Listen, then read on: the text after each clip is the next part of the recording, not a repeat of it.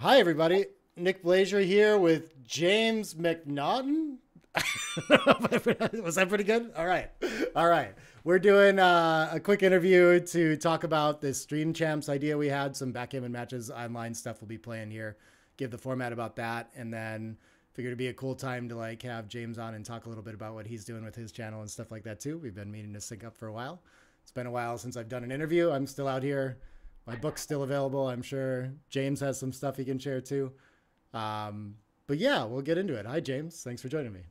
hey, Nick. Great to be here. Thank you for inviting me onto your channel. Big fan. Oh, thank you. Thank you so much, man. I know you reached out a while ago. You've been running a, a YouTube channel of your own too, right? That I can like link here. But yeah, yeah, of that? course. The link uh, will be in the description. Yeah, Nick. Sweet. Okay. Okay. I'll work on that. it'll, be, it'll be somewhere. Uh, it's, yeah, it's my, my channel is the channel for my club actually, the Paris Videau. Paris okay. Videau. Videau means doubling cube in French, so oh, and it's the name okay. of our club.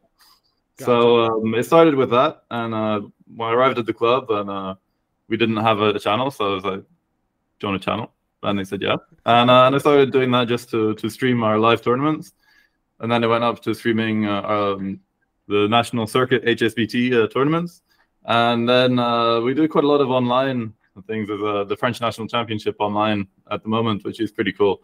So I do live commentary for that, and I try and mix it up and uh, essentially just kind of promote backgammon in French. It's actually it's quite funny uh, speaking in English on on a channel. I'm not used to it. Um, so yeah, so I try and get uh, other people involved, try and promote French players and French tournaments. Uh, but also international games are always fun.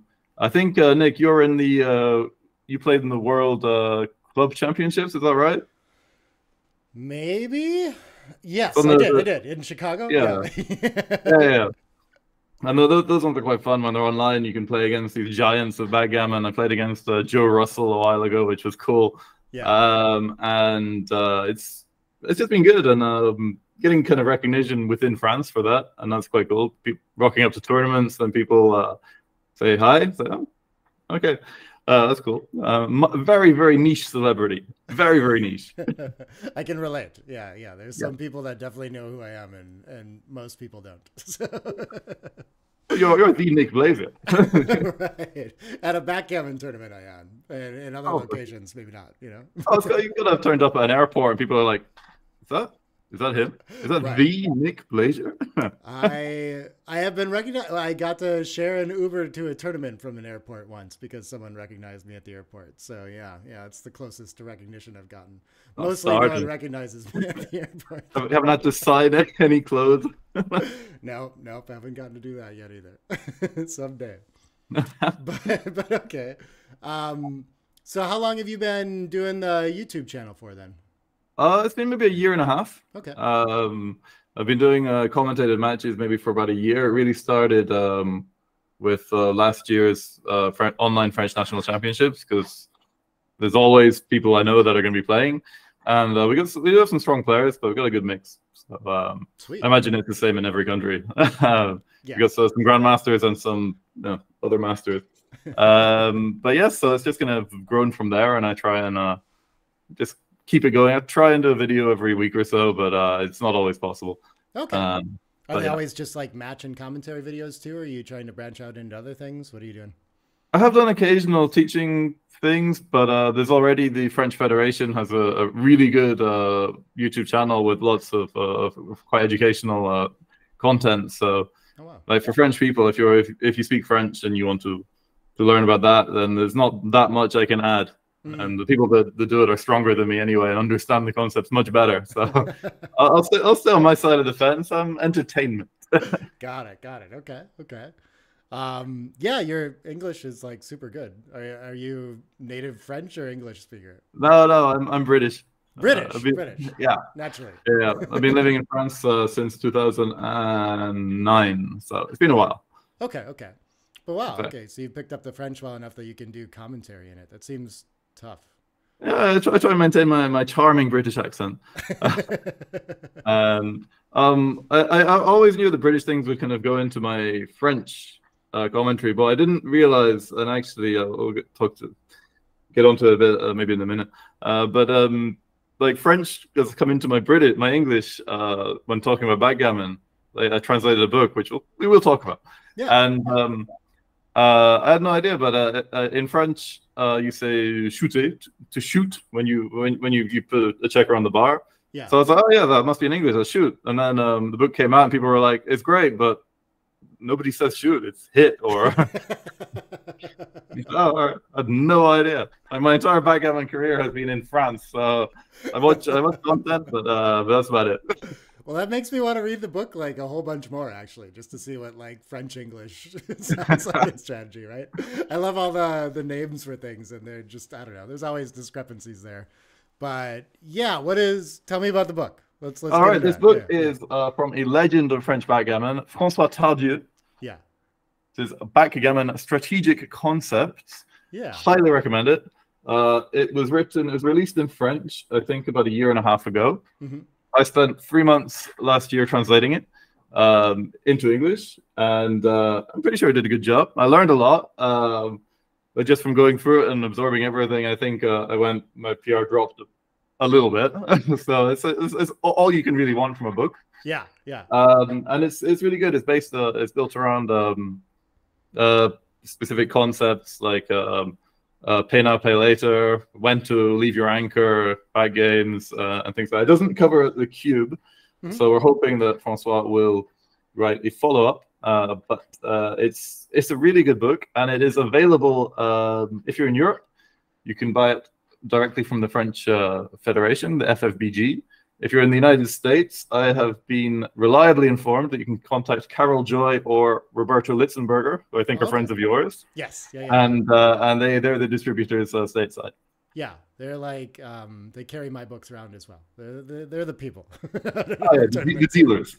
yeah, exactly, exactly. The book dealers. Yep. Yeah, first one's free. I think Carol deals books exclusively at tournaments mostly, or maybe online mm-hmm. as well.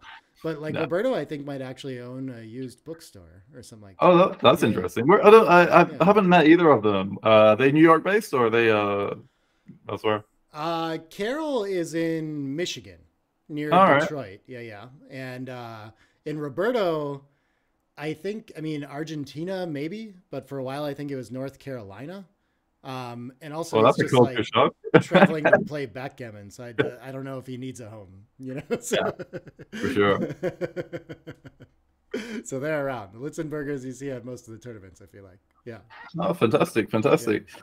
That's super cool though that you got involved in translating that as well. That seems quite useful and exciting. That like you know, I don't know, English speakers can get into this book now too. I had I had oh, seen posts sure. around it and stuff. I don't yeah. know Francois is a player very much though. Like, let's do you have like a brief history of like I don't know. Yeah, he he's uh, he's considered one of the, the giants of, uh, of French backgammon. He uh, he actually stopped playing. Uh, they had like a twenty year break, and he's only just come back to it. So okay, like up until like the early uh, early mid two thousands, uh, he was one of the, the group of, of like very top uh, like French players internationally. And uh, if you talk to uh, uh, to the older generation, like Bob Wachtel or Steve Sachs, um, they they'll know who he is. They'll they'll probably have played with him. Yeah. Um, but uh, but yeah, he I think he he was a French national champion at least once, um, and he was a, a, a great money player. Got but it. he took he took 20 years off. But he actually came back. He was at uh, the national championships uh, last October. It was really good to see, and he still got it. Yeah. Like someone yeah. transcribed his matches. He was still playing at about a four or five, even after 20 years off. Amazing. Okay. Okay. Yeah. And um, it, what was quite cool is the um, unlike a lot of books that are that have not held up well, this one was this was actually put together from articles he'd written 20 years ago, before uh, before XG was really used. Wow. And uh, obviously, some things haven't hold, held up and they haven't made it into the book. But uh, it's it's quite amazing just the, the concepts he, he understood and have been um, corroborated by uh, by the software we use. Um, there, yeah. there is some equity in there, but it's uh, it's it's designed so you can understand it without having to to do the maths. Oh, cool. So, okay. Yeah. Okay. Yeah, I was very much curious about that. If he's writing from the perspective of what he figured out 20 years ago, mainly, or if he's like is he working with the bots now, or has he been as he comes back to the game? You know, like what does that look like? I I think he's probably dabbling, but uh, he I think he's got to be in his sixties uh, at the moment, so sixties yeah. or seventies. Uh, he I've, I've met him a few times. He doesn't strike me as a person who, who spends a lot of time looking at match equity tables and yeah, uh, yeah, using using rollouts. So, uh, well, I'd be I'd be fascinated to see um, how he'd approach a, a book on the cube uh, and see whether his his concepts, his approaches uh, back in the day uh, still hold up. Yeah, yeah, yeah. That sounds really cool. Is there like one strategic concept that like really sticks out for you that you like want to share or something like that? Something that really like helps you to think about? Um, yeah, there's one I was actually uh, in in the back game section, which is uh, right at the back. Yeah. Um, fittingly, but uh, um, it's actually uh, when you were coming in against when you're playing against uh, back games, uh, and just um, really prioritizing flexibility and purity, mm-hmm. and the things that I'd never really considered as much before. Just I'll bring everyone in safely. It's like now, uh, a lot of the time it's a huge error like, not to slot if it's gonna just um, give you safety now, but it will destroy your position into rolls. And I never really considered that. Mm-hmm, mm-hmm. Um, but there's, there's, quite a few. The, the chapter, especially on when to leave your anchor, is uh, really worth the read because it's something that I still have trouble with. Yeah. And uh, imagine a lot of players do. Yeah, yeah, yeah. It is a very difficult one, and when it's right or wrong, like the magnitude of the the error to the decision is tends to be large. It's actually oh, kind of hard to get into exceptional positions where ah you can leave it or not, who cares, right? Yeah. Like usually it's very right or very wrong. so, mm. Yeah. Oh, for sure. No, I've, I've, I've, i think I've rocked up a 500 blunder from that at least once or twice. So. Yeah, yeah. I think that's uh, easy you, to do. Yeah. they're the ones that you remember for sure, for sure. Hopefully, anyway. Uh, indeed, indeed. Uh, I should uh, put out that I'm going to be hosting on my channel the Beaulieu tournament, which is the international Beaulieu tournament in June. Okay. So I don't know if you're going to be there. Uh, it'd be cool if you were. It's in the sunny south of France. So you know, get in touch with Patricia, the the wonderful Patricia Ray, who um, who is the president of the uh, Monaco Backgammon Club, and she's the one hosting it. Okay. So um, it's it's a really good tournament. So I'll be doing the I'll be streaming the, the matches from there, and I'll be playing as well. So I, I was there last year. It was a lot of fun. Um, yeah. So tune in if you're not going to be there. Just watch it. I um, will. I will. Yeah. I have no plans to travel to France at the moment, but I'm always available. so, with, some help, with some help. hey, so the, the Côte d'Azur in, in June is, is a nice place to be. What can I say? oh, yeah. You're spending four days in a, in a casino. Yeah, you, you want to be outside a bit. yeah, yeah.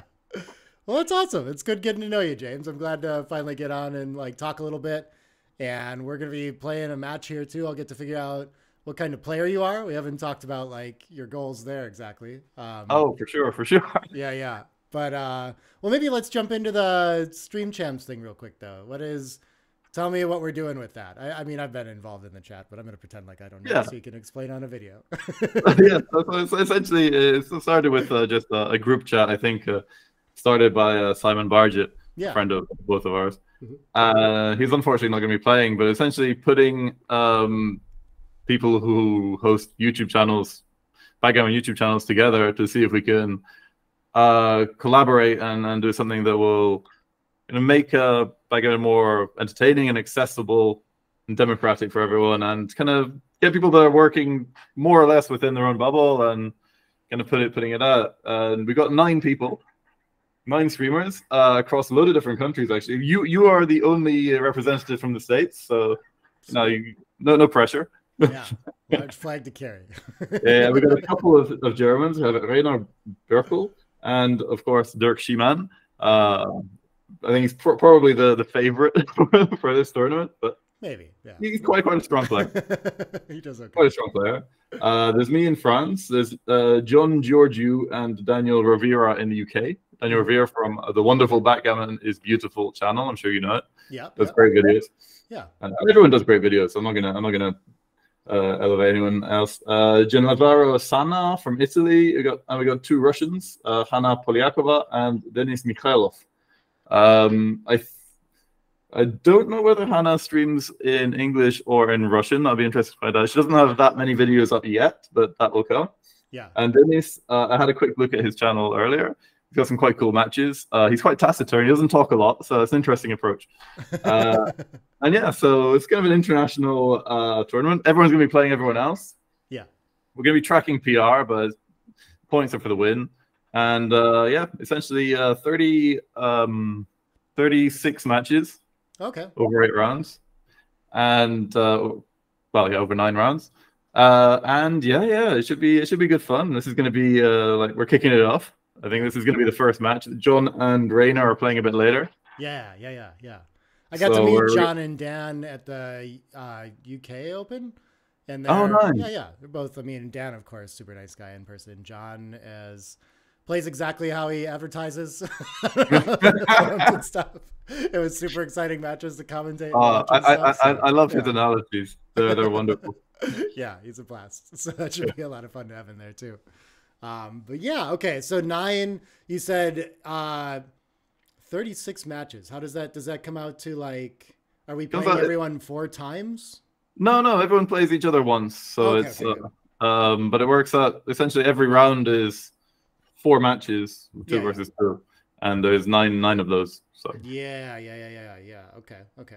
I guess yeah, and it's gonna be it's gonna be played on the wonderful Backgammon Studio Heroes, possibly yeah. Hero Three, hosted by Terrier or Terrier, I don't know. Uh, Terrier, yeah, yeah. I learned this at some point. I should go back and consult my interview with him so that I know. Terrier Pronouncing names is hard. I can't. I didn't forgot to ask you again. I just guess. I get close lately, though. You know, like oh, guess, yeah you guess enough at tournaments and you start to like you're in the ballpark. so. Oh, for sure. so yeah, so it's, it's, it, these are not huge matches. These are not WBIF matches. They're not. Right. It's not going to be like video it's two hours normally. Right. There's no uh, buy-in that I owe, no prize I'm going to win, right? like the honor, and uh, once we yeah. get the, the big sponsors and the big money coming in for the next season, then you know, then then we can we can start looking at uh at prizes. But right now, it's, it's all about the glory. Yeah. Uh, being being the the champion streamer. Yeah. Uh, and you know, the stiff competition. I would say you're probably um, second favorite after uh, Dirk Schiemann. You're master one, right? Uh, yeah, yeah, yeah. I haven't been like studying real hard, but playing some speed gammon and still holding around like uh, I don't know, like high fours or something like that. So should do pretty okay. impressive. Pretty impressive. Thank you. Yeah, uh, I've been most of my work's been going towards. I'm still trying to get like a second book out, and I think I've made a lot of progress on that lately. So maybe, maybe we'll see it some... Can, you give us uh, some hints about what it's going to be about? yeah, yeah. Well, I mean, I, have actually done some lectures on some of the findings from it already, but uh, it's all third roll score cubes. Um, so like, oh, cool. weird stuff where you get into you win the opening roll, your opponent replies, and you have a cube at four way, two way. Mm. Um, I just thought it'd be fun to like exhaustively get all those out and show kind of the trends or that that comes up. It's an easy thing if you're not if you haven't studied it to just skip over and never think about it, right? Oh, for sure, but it's, uh, it's for, me, it's, it's the, the the fun score. I love it. Yeah, yeah, exactly. Uh, when, when, I, when I'm trailing, but when I'm winning, uh, like two away, four away, I, I like it less. less fun, less fun. Yeah, that's for sure. But yeah, I think I'm really close to having all those to find out, and like I want to write it out and see what that chunk of the book looks like. And I expect that there's going to be room also to get into fourth roll normal score cubes. So like yeah. your opening five splits is like the classic example of that but there's actually like that's there aren't infinite of those either. There's studyable like the second roll, right? So I just mm. thought it'd be a nice like opening cube reference, and it'll be less like explanatory like my match playbook and more a lot of positions and a lot of like sort of a little more like nerdy and technical to look through, right? And okay, probably you don't want to memorize it all. I don't know if someone can do that, but it's like seeing it and spending time with it I mean, it's helped my game immensely just to like not to have to think as much in the opening. Like, like I kind of know if I've like seen a position like this and that it might be a cube or not, and that's the end of it. Instead of having mm-hmm. to like rationalize why, like try to use Pratt on the third roll, something like this. Right? Yeah, like it's just too much. Yeah, yeah. With these things, you you generally know them or you don't, or you kind of develop a feel for them. I think. Right. Right. Yeah. Um,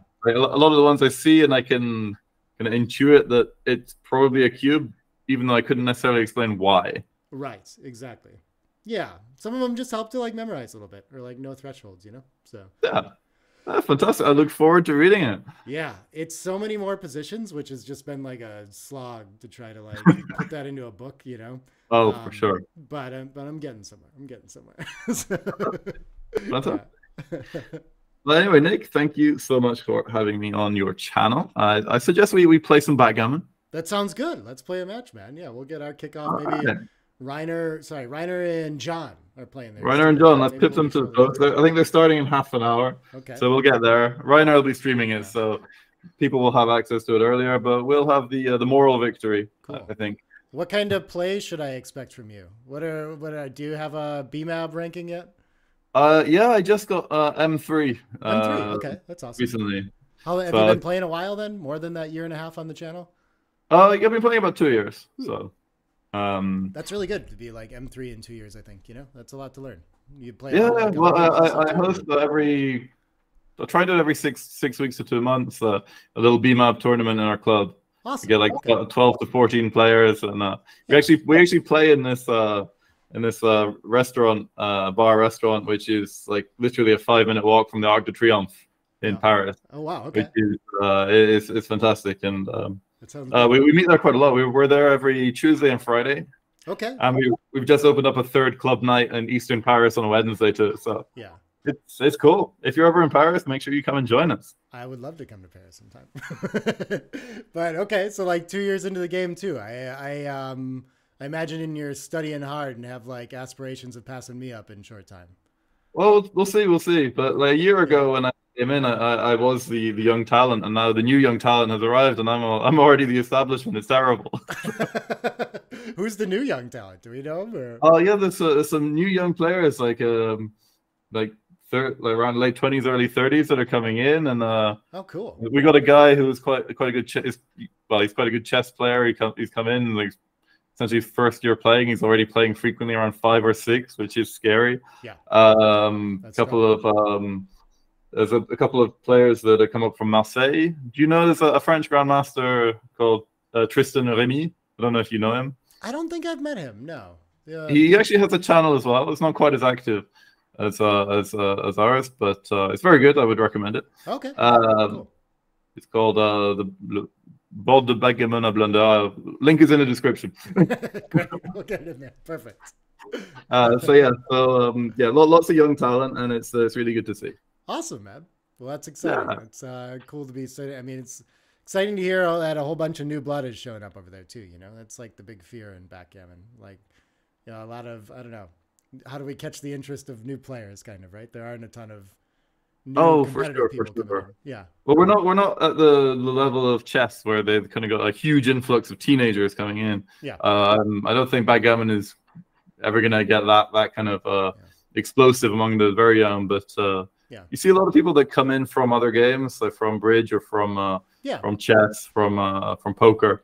They come in and they, they want something a bit different, and they and they, they can find it in backgammon. So it's uh, we're, we're we're we're a broad church. What can I say? Yeah. We'll take everyone.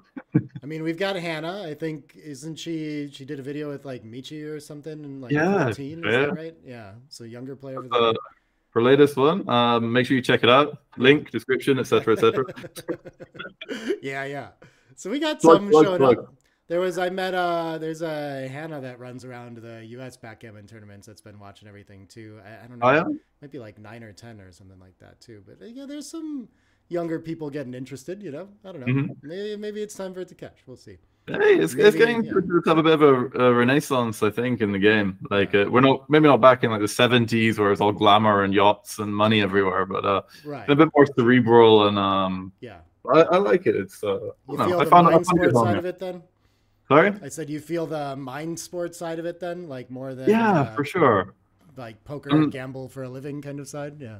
Yeah, that, that I don't know. Playing for money is not really my thing. I love I love tournaments, um, and also I, lo- I love the fact that there's still an element of chance. Like, uh, I, I can I can rock up against Dirk Schiemann, and in a seven point match, uh, all right, I've probably got maybe a forty percent chance of winning. Yeah. Uh, 35 40 percent chance of winning. Yeah. Uh, whereas if like if I was like the similar level in chess and I rocked up against uh, Magnus Carlsen, I, I would have zero zero at all. Yeah. Yeah, it's a beautiful thing. It keeps it interesting, I think. I think those are I liked more chess like games younger in my life and I've gravitated toward more towards the chance ones. They're harder to learn too, you know? Yeah. Like you don't get that luxury of just like following a path and getting it exactly right and then trying to build from there. Like it's going to be different every time and good luck Yeah, organizing exactly. everything you're learning, you know? So Well, I think I think like in in, in every every match you play, you'll you'll find positions you've never seen before, and frequently positions that nobody has ever seen before, which is is crazy. right. I find that amazing. Yeah. Um, and and yes, uh, it's it's it's a wonderful thing. Yeah. Uh, yeah, and there's not there's not you don't have the memorization that you have in chess. Yeah. Which is yeah. off-putting. Even the sort of memorizable pieces like the second roll study and stuff, like going through this book that I'm working on, there are like second roll four way two way plays that I did not know and didn't think about. You know, and uh, like I still I'm sure they've come up and I've seen them or maybe I have or and forgotten about them. I don't really know, but yeah, I don't know. There's always a surprise in this game, even in the parts that you thought you had like exhaustively memorized. you know, so. Yeah. I have to say it's uh it's it's an argument for maybe using a more creative opening because if you do like a, a small error in an opening, all right, you're losing a bit of equity there. Yeah. But if it's something, if you're taking your opponent out of you know yeah. their preparation, then uh, you could uh, yeah. maybe get get decisive advantage quite early on. I forget which way Albert Steg argues about this too, but like I think um, with the six four opening, he wrote a whole article about this. I think mm. he's a U.S. player in the in the Northeast. Um, but I think he was talking about like switching the points, and it was a nice change at first because a lot of people at the time didn't know responses to it. But then he also found that he did not know how to follow up. I think it was after pointing was the one where he had no idea, like it was just lost yeah. immediately. Like doesn't mm-hmm. like there's some really complicated third roll and beyond plays, right? And so he concluded like this is not worth playing this way to me, and I'm just gonna split. there's lots of stuff like that, you know. Like there's there's I I don't know like I've always been of the the mindset that I'm not good at the game enough to know which way is going to be easier. So I might as well just like learn the right way and try to follow that. you know, but yeah. but I think there's like a lot of adjustment truth to that of like how do you mm-hmm. organize mm-hmm. the information into something you can execute. You know. Yeah. Yeah, I suppose you, you, you might you might tailor it to your opponent as well. Yeah. Um, yeah. Like make a slight inaccuracy at the beginning to, to get a more complex game, so your sure. advantage is yeah. is more concrete over the long term. Yeah. Um, but there's, uh, yeah, there's, I've got a, a, few kind of Chouette players that are a bit more flamboyant. And I'll do like their their four one. They'll be uh, 20, 24, 26, 5 nice. or something like that. Yeah, yeah. Which well, you want both five points. Why wouldn't you start them both? oh, for sure, for sure. But frequently double slots in the board is uh, it's it's, yeah. it's cool to watch and at least interesting matches. Absolutely. And um, a lot of people that are kind of grown up, like grown up, um, just you know memorizing these openings, they, they see something a bit wacky that all right, it's not a huge blunder, it's like a forty error. Yeah. Uh, uh, and they'll be like, I have no idea what to do. yeah, yeah, yeah, yeah. No, I think um, like I think Victor Ashkenazi is probably a master of this. Though I like struggle to actually. I mean, he would certainly say that he is. And I talk to him, and I can see it sometimes, you know. And it's it's, but I like don't actually understand his game as well as him, or why he's making these adjustments but I know that's how he thinks about it. Like I know mm-hmm. he's trying to steer it into something that he thinks is going to be more difficult for his opponent, or maybe something that's going to be easier for him to play, or just like is going to extend the game into more decisions. Like you can see, like sometimes there's like two very close plays and he's spending time trying to like figure out which way he wants to go or is happy to make a small error to take it into some territory that he thinks is going to be more beneficial later. And so yeah. he's one that can easily make a mistake on the second roll, you know. Um, but that's just not how he's thinking about it. So, so that's fine for him. oh, yeah, yeah, well, you're going to be losing a certain amount of equity anyway. But uh, yeah. I think it, it, depends whether your objective is to get a low PR or to yeah. uh, win more. So, although you would have get that having a lower PR would mean winning more, but not necessarily. I think I think this tilted me so much as like someone who studies the second rolls and stuff. But he had an interview with this business guy. I forget who he was and I remember they were playing backgammon as like a backdrop for the interview. And yeah. for whatever reason, the guy got to open with double fives. And Victor rolls like a four or three or something like that and split with it. And I was just like, how, can you split? you five, five. You can't do this. you know? But I don't know. I'm sure it made sense to him. True. All right, all right. Well, I think we got right. backgammon to play. Thanks so much, James. This has been a blast. Thanks for having me on. I look yeah. forward to playing you. May the best man win. Yeah, you'll be posting about the videos as they come out. I will as well. So keep an eye on YouTube and all these channels, and and we'll. I'm glad to have a reason to do some more play and explains to everybody. So, so yeah, let's kick it off, man. Thanks, James. All right, let's do it. All right, bye now. All right, so I need